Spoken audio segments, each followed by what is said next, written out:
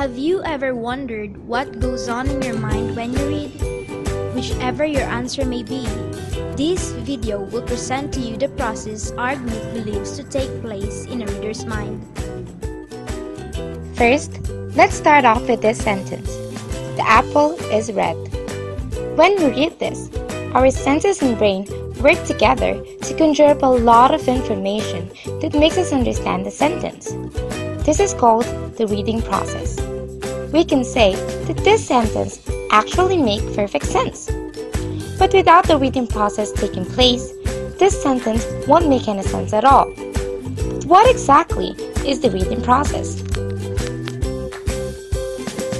The reader perceives symbols or letters that make up the text. After perception comes recognition. This means the symbols and letters are familiar with the reader.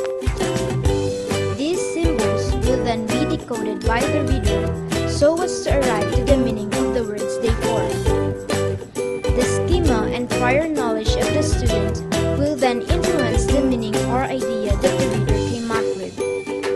The reader then decides what information is relevant to the text and use it to arrive to the message of the text itself. Thus, comprehension takes place.